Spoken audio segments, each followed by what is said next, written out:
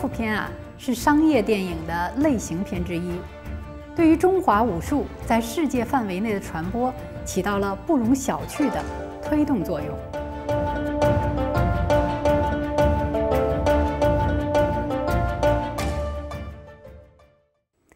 武术与电影的结合，对于双方来说都是有益的。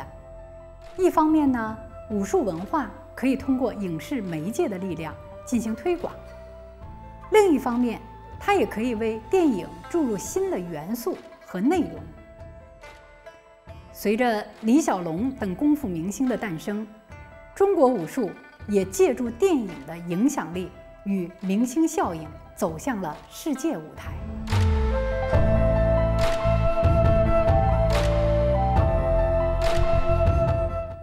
在现代汉语当中，“功夫”一词古已有之，主要是指本领、造诣。李小龙的功夫电影让“功夫”这个词与武术、武功紧密地联系了起来。那么，什么是功夫片呢？功夫片也叫武打片、武术片，它是以表现中华武术技艺为主题的影片。功夫片分为两种，一种是武侠功夫片，偏重侠；一种呢是武打功夫片，偏重打。其实，中国最早的一部比较有影响力的功夫片，是一九二八年由张石川执导的《火烧红莲寺》。红莲寺这把火呀，一连烧了三年，三年内拍出了十八集续集。使得武侠电影在二十年代末、三十年代初的中国影坛风靡一时。上个世纪五十年代至八十年代是港台地区功夫片的鼎盛时期。新一代导演通过改编金庸、梁羽生的武侠小说，掀起了中国武侠电影的创作浪潮。《龙门客栈》《独臂刀》等影片。都是当时颇具影响力的功夫电影。著名功夫影星李小龙正是在这一时期横空出世的，他的出现把当时以刀剑为主的武侠电影引入了以拳脚为主的功夫片，为中国功夫电影开拓国际电影市场做出了巨大的贡献。二十世纪七十年代初，李小龙带着他的四部半电影。唐山大兄、精武门、龙争虎斗、猛龙过江，以及拍了一半的死亡游戏，勇闯好莱坞。他那文马硬桥的功夫啊，让北美的观众大开眼界，也让许多人因此对功夫痴迷不已。中国武侠电影在大陆的再度复兴，是以张鑫炎导演执导的《少林寺》为标志的。当年啊。一毛钱一张的电影票，竟然使电影《少林寺》票房过亿，至今也是一个难以超越的神话。《少林寺》影片大获成功之后，中国掀起了一股武打片热，《少林小子》《黄河大侠》《南北少林》《南拳王》《武当》《武林志》《木棉袈裟》等，那个年代经典的国产武打片纷纷面世。也成就了一大批武术运动员出身的功夫明星。后来，随着时代的发展和科技的进步，后期的功夫电影越来越多的借助技术手段来实现侠客们的旷世神功。虽然影片的视觉冲击力很强，但却让武术呢逐步走向了神秘与玄虚的境地。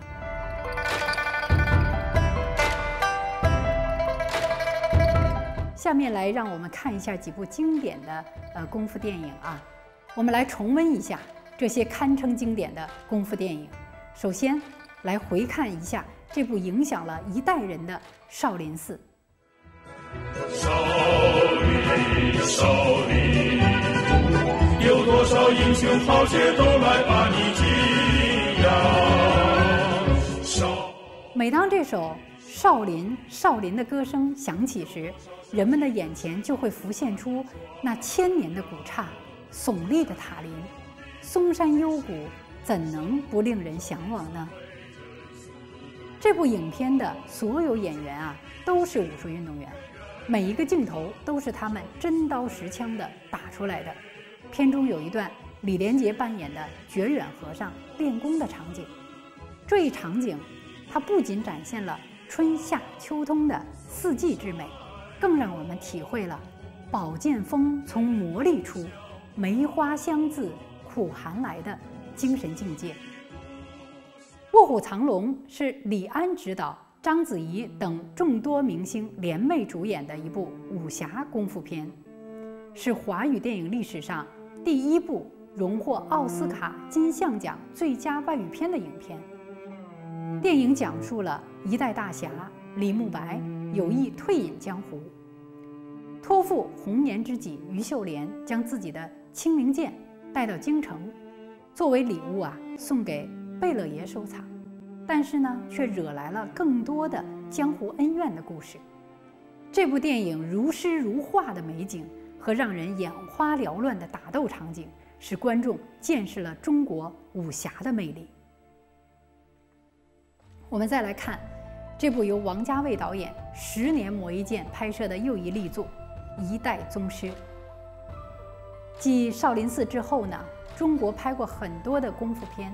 但是从没有一部电影能够像《一代宗师》一样，把中国武术的套路、拳理、心法讲得这么透彻，演得这么细致，拍得这么讲究。《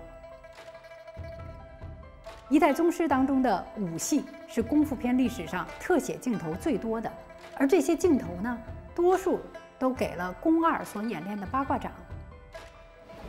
宫二出场的时候啊。金楼映衬着金绣上的兰花和白梅，他与马三在这个对决的时候，漫天飞雪映衬着一袭黑裘，真的是夜底藏花一度，梦里踏雪几回。一个有着清冽傲骨的奇女子，就这样深深地刻在了观众的脑海之中。而更让人念念不忘的呢，则是中国传统武术的美。一代宗师展现的不是中国在西式擂台上的逆袭，而是中国人自己的规矩。比武要这样比，做人要这样做。影片当中，宫保森与叶问交手的时候的台词：“拳有南北，国有南北吗？南拳又何止北拳呢？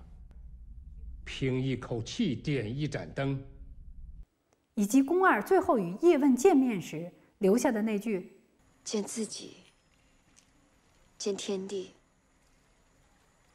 见众生。”这句北方思想界常讲的“三家相见”的理念，都体现了中华文化的精髓。动漫电影呢，它以其不拘一格的这种形式和多元化的创作手法，跨越语言和文化障碍的通俗性。是很容易获得观众的广泛认同的。那么，由美国电影梦工厂制作的《功夫熊猫》三部曲，就是武术与动漫的完美结合。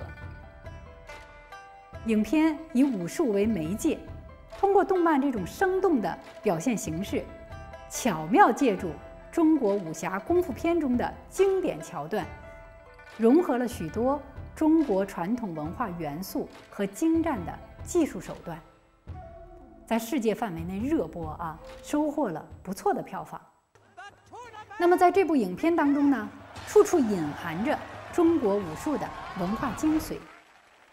比如影片主角熊猫阿宝的成长经历，就很好的诠释了什么是自强不息的精神。影片当中师傅的原型呢是小熊猫，他身材矮小却灵活敏捷。有着隐忍负重、不屈不挠的品格。师傅在培养阿宝的过程当中啊，也时时体现着武德修养和仁义精神，将一只笨拙的熊猫训练成为能够护卫和平的武林高手。我们来看一下功夫片对武术传播的影响。功夫片对于中国武术在国内外传播的影响力。那是毋庸置疑的。很多外国来华留学生和我在国外的学生，他们都告诉我，他们最开始喜欢中国武术啊，就是因为看了李小龙啊、成龙啊、李连杰呀等功夫明星的电影。据说李小龙影片一经播放，便使得美国当地的武馆数量一下子翻了两倍，一股中国功夫热旋风吹遍美国。少林寺这部影片，不知道使得多少外国朋友对少林功夫、中国文化产生了浓厚的兴趣。热播之后，引得成千上万人从世界各地来到中国学习武术。当然了，一部电影的传播效果与其所处时代背景是息息相关的。李小龙的电影与少林寺。等影片之所以能够引起如此大的轰动，除了因为演员李小龙与李连杰，包括这个整个的演员队伍啊，他们本身就是有着真功夫的演员以外呢，当时的社会文化因素也起到了相当重要的作用。在那个年代，人们的娱乐活动不够丰富，了解外面世界的渠道呢也相对的单一，看电影。是人们主要的文娱生活。另外啊，当时电影制作水平也很有限，它很少使用特技，真刀实枪的功夫秀牢牢抓住了观众的心。因此，我们也希望现在的武术电影呢，能够尽量真实的反映中国武术的本来面貌，通过多种电影的艺术形式，让更多的观众认识、了解和喜爱。中国武术。